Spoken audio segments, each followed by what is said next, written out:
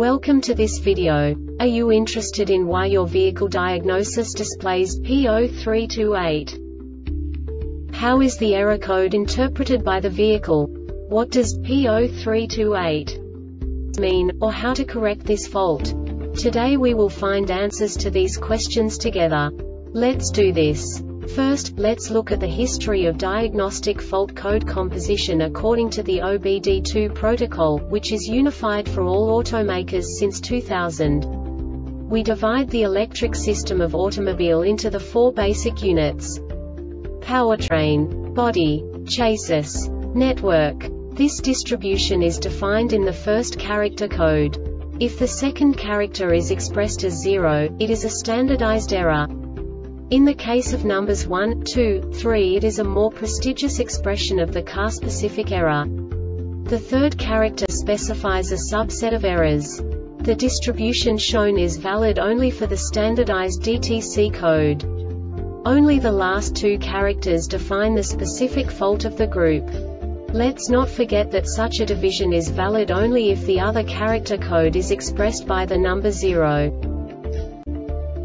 Our website airbagreset.sk produces useful videos for you. You do not have to go through the OBD2 protocol anymore to know how to troubleshoot any car breakdown. You will find all the diagnostic codes that can be diagnosed in a Pontiac vehicles. Also many other useful things. The following demonstration will help you look into the world of software for car control units. You unbelievably can move the video a bit further. The error code is split into two bytes consisting of 16 bits. One bit is the basic unit that each computer works with. The bit has two logical states. 0, low level, 1, high level. By combining the first two bits, the basic character of the error code is expressed. The next two bits again determine the second character. The last beat styles of the first byte define the third character of the code.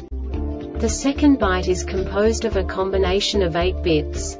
The first 4 bits determine the fourth character of the code.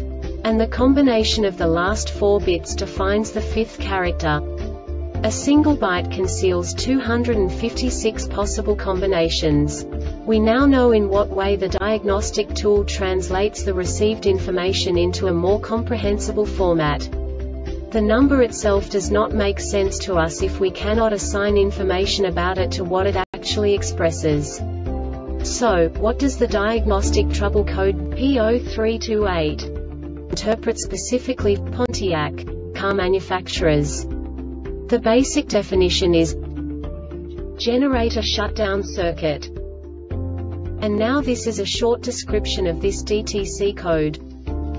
The Transaxle Control Module TCM continuously monitors the generator shutdown GSDN circuit and the controller area network CAN signal for a GSDN request from the Powertrain Control Module PCM. This DTC sets when the PCM requests generator shutdown through the CAN signal or if there is a GSDN circuit concern the generator inverter will be disabled.